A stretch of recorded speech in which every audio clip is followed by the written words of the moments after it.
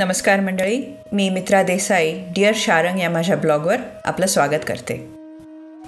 आज नऊ मे दोन हजार एकोणीस. तिथी आहे वैशाख शुक्ल पक्ष पंचमी आणि आज एक महत्त्वाची जयंती आहे. ज्यांनी आपले आयुष्य अखिल जगाच्या उद्धाराप्रित्यर्थ खर्च केले अपौरुषेय अशा वैदिक धर्माचे पुनरुज्जीवन करण्यात घालवले आणि ज्यांच्या अत्यंत परिश्रमाने हा आपला सनातन वैदिक धर्म आजवर टिकून राहिला आहे त्या पुण्यश्लोक आद्य शंकराचार्यांची आज जयंती. गोष्टीची सुरुवात सुरुवातीपासूनच करूयात चला.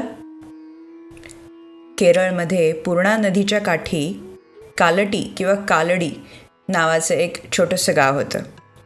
तिथे शिवगुरू आणि आर्यांबा या नावाचे पतीपत्नी नांदत असत. लग्न होऊन बरीच वर्ष झाली तरीही पुत्रसंतती होईना तेव्हा या उभयतांनी कडकडीत तपाने श्री शंकरांची आराधना चालू केली. एके दिवशी शिवगुरूंना स्वप्नात श्री शंकरांनी एका ब्राह्मणाच्या रूपात दर्शन दिले आणि तपाचे कारण विचारले. तेव्हा शिवगुरूंनी पुत्रप्राप्तीची इच्छा व्यक्त केली. श्री शंकरांनी उलट प्रश्न विचारला की तुला उत्तम आणि सर्वज्ञ असा एक पुत्र हवा आहे का सामान्य प्रकृतीचे अनेक मुलगे हवेत? तेव्हा शिवगुरूंनी एकच पण सर्वज्ञ असा पुत्र मागितला. तेव्हा प्रत्यक्ष शंकरच तुझ्या उदरी जन्म घेईल असा आशीर्वाद देऊन तो ब्राह्मण अदृश्य झाला. काहीच दिवसात आर्यांबा गर्भवती राहिली आणि नवमास भरताच सूर्यासारख्या तेजस्वी अशा पुत्राला जन्म दिला. तोच हा छोटा शंकरा पुढे जाऊन आद्य शंकराचार्य झाले. थोरांचे सर्वच आयुष्य जसे असामान्यपणे व्यतीत होते तेथे त्यांचे बालपण तरी सामान्य मुलासारखे कसे राहील सांगा? पहिल्या वर्षीच शंकरा मातृभाषा बोलू लागला. दुसऱ्या वर्षी वर्णविज्ञान लिहिणे वाचणे पूर्णपणे येऊ लागले.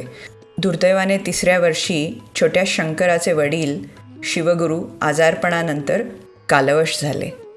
इथे गोष्ट अशी सांगितली जाते की शिवगुरूंनी या छोट्या शंकराला देवळात नैवेद्य दाखवायला पाठवले. नैवेद्य दाखवून छोटा शंकरा तिथेच देवापुढे बसून राहिला. त्याला वाटले की माझ्यासमोर दुधाची वाटी ठेवल्यावर मी कसा पटकन दूध पिऊन टाकतो? तसा देवसुद्धा हे दूध प्यायला आता येणार. बराच वेळ बसून राहिल्यावर सुद्धा देव जेव्हा आला नाही तेव्हा मात्र शंकराला रडू फुटलं. त्याची ती निरागस भक्ती पाहून शंकर आणि पार्वती नैवेद्य घ्यायला आले. त्यांनी अगदी मनोभावे नैवेद्य ग्रहण केला आणि मोकळी वाटी छोट्या शंकरापुढे परत ठेवली. आता मोकळी वाटी बघितल्यानंतर शंकरा पुन्हा रडायला लागला. तेव्हा माता पार्वतींनी विचारलं आता काय झालं? यावर छोटा शंकरा म्हटला माझे बाबा प्रसादाचं थोडं दूध नेहमी परत घेऊन येतात. मी मोकळी वाटी घेऊन कशी जाऊ? हे ऐकल्यावर माता पार्वतींनी दुधाची वाटी पुन्हा अर्धी भरली असं म्हणतात. तर असा हा आपला छोटा शंकरा. पाचव्या वर्षी सर्व संस्कारांसह त्यांचे उपनयन झाले आणि वेदाध्यायनास आरंभ झाला. गुरुने एकदाच सांगताच आणि एकवार म्हणताच त्यांचे सर्व पाठ होत. आठव्या वर्षाच्या अतिअल्प आयुतच चतुर्वेदांचे सार्थ अध्ययन पूर्ण करणारे हे बालक पुढे जाऊन काहीतरी अपूर्व कामगिरी बजावणार आहे असे आता सर्वांना वाटू लागले.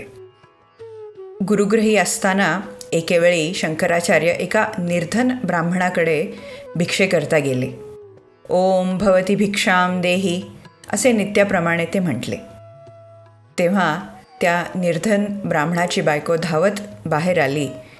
आणि आमच्या निर्धनतेमुळे तुम्हास आमच्या इथे भिक्षासुद्धा मिळू नये ही खरोखर आम्हास लाजीरवाणी गोष्ट आहे असे म्हणून अतिशय खेद व्यक्त केला आणि तिच्या घरात असलेला एकुलता एक आमलक किंवा आपला आवळा भिक्षेमध्ये घातला. तिचे ते दीन बोलणे ऐकून कनवाळू शंकराचार्यांनी थेट श्री महालक्ष्मींचेच ध्यान केले. क्षणार्धात महालक्ष्मीची स्तुती करणारे कनकधारा स्तोत्र त्यांच्या मुखातून बाहेर पडले आणि साक्षात महालक्ष्मी संतुष्ट होऊन समोर येऊन उभी राहिली. तुझी काय इच्छा आहे? असे तिने विचारल्यावर शंकराचार्यांनी या गरीब ब्राह्मणाला सधन कर असे सांगितले. त्यावर श्री महालक्ष्मी म्हटली या ब्राह्मणाने द्रव्य प्राप्त होण्याइतके पुण्यच केले नाही अजून. तेव्हा शंकराचार्य म्हणतात याच्यावर नसेल तरी माझ्यावर तरी तुझी कृपादृष्टी आहे ना? मग मी सांगतो म्हणून या ब्राह्मणास धनवान कर. हे ऐकल्यानंतर महालक्ष्मीनी तिथे सोन्याच्या आवळ्यांचा पाऊस पाडलाय. म्हणून हे कनकधारा स्तोत्र आजही महालक्ष्मीला प्रसन्न करण्यासाठी व्रतांमध्ये वापरलं जातं. तर आपल्या अफाट योग सामर्थ्याने असे महालक्ष्मीला प्रसन्न करून घेणे किंवा पूर्णा नदीला आपला प्रवाह बदलायला लावणे. असे अनेक चमत्कार शंकराचार्यांच्या लहानपणीच्या गोष्टींमध्ये आढळतात. तर अशा या लहानक्या शंकराला चतुर्थाश्रम किंवा संन्यासाश्रमाची प्रचंड आसक्ती होती. पण आई काही संन्यासाला अनुमती देईना. नमातुर दैवतम परम आई वाचून दुसरे दैवत नाही असे शास्त्रवचन आहे. त्यामुळे आईची आज्ञाही काही मोडता येईना. एके दिवशी नदीत पोहत असताना मगरीने शंकराचा पाय धरला आणि त्याला पाण्याखाली ओढू लागली. काठावरच असणाऱ्या आर्यांबास मदतीची याचना करण्याऐवजी छोट्या शंकराने संन्यासाची अनुमती मागितली. अशा आपत्कालीन घेतलेल्या संन्यासाला आपत संन्यास म्हणतात. जीव जाण्यापेक्षा संन्यास बरा असा विचार करून आर्यांबाने अनुमती दिली आणि अहो आश्चर्यम तिकडे मगरीने पाय सोडला आणि छोटा शंकरा सुखरूप पाण्याबाहेर आला. मायेचे हे लौकिक बंधन सुटल्याबरोबरच शंकराचार्यांचा संन्यास आणि त्यांचे अलौकिक कार्य सुरू झाले. आईचा आशीर्वाद घेऊन आपले गुरु शोधायला छोटा शंकरा उत्तरेकडे चालू लागला. आता कल्पना करा आजच्यासारखे जी पी एस नाहीत स्मार्टफोन्स नाहीत जवळचं गाव किती अंतरावर आहे काही कल्पना नाही. हातात असलेला शिधा संपल्यानंतर पुढे कधी जेवायला मिळणार आहे हे सुद्धा माहीत नाही.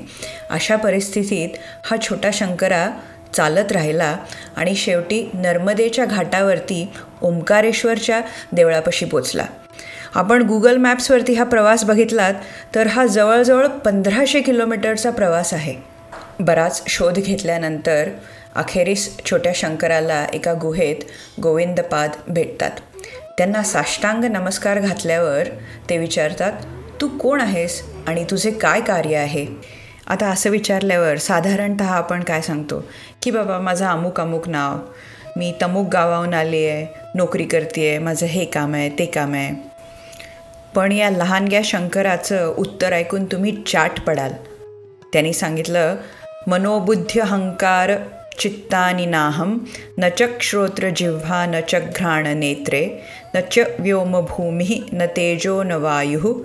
चिदानन्दरूपं शिवोऽहं शिवोहम मन बुद्धी अहंकार चित्त श्रोत्र जिव्हा घ्राण नेत्र आकाश वायू भूमी तेज यापैकी मी कोणीही नाही। तर केवळ सच्चिदानंद स्वरूप आणि शिवतत्व जाणलेला असा तो मी आहे. हे ऐकल्यावर गोविंदपादांना लगेच लक्षात आले की आपल्यासमोर श्री शंकरच बटुवेशात उभे आहेत आणि त्यांनी छोट्या शंकराला आपला शिष्य म्हणून स्वीकार केले.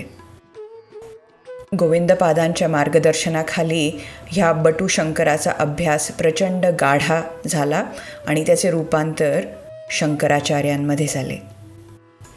अवघ्या काही वर्षातच शंकराचार्यांनी प्रस्थानत्रयींवरती भाष्य केलं होतं. आता प्रस्थानत्रयी म्हणजे काय? तर थ्री सोर्सेस ऑफ अथॉरिटी ते म्हणजे आपली उपनिषद ब्रह्मसूत्र आणि श्रीमद भगवद्गीता. आता कल्पना करा हे सगळं तत्त्वज्ञान ह्याचा अभ्यास करून ह्याच्यावरती भाष्य शंकराचार्यांनी वयाच्या सोळाव्या वर्षाच्या आधी पूर्ण केलेलं होतं. शंकराचार्यांची तयारी पाहून हे तत्त्वज्ञान उपदेश करून जगाचा उद्धार करण्यासाठी काशीस जा असा गुरु आदेश झाला आणि शंकराचार्य काशीला आले. काशीतली त्यांची एक गोष्ट सांगितली जाते सकाळी आंघोळ करून काशी विश्वेश्वराला अभिषेक करायला शंकराचार्य निघाले असताना समोरून घंटी वाजवत एक चांडाळ आणि चार कुत्री वाटेत आडवी आली. शंकराचार्य आणि त्यांचे शिष्य त्याला बाजूला व्हायला सांगत होते. तेव्हा चांडाळांनी प्रश्न विचारला अन्नमयादन्नमयम अथवा चैतन्यमेव चैतन्यात? द्विजवर दूरी कर्तुम वांछसी किम ब्रूहि गच्छ गच्छेती तू एका अन्नमय कोशाला दुसऱ्या अन्नमय कोशापासून दूर व्हायला सांगतोयस की चैतन्याला?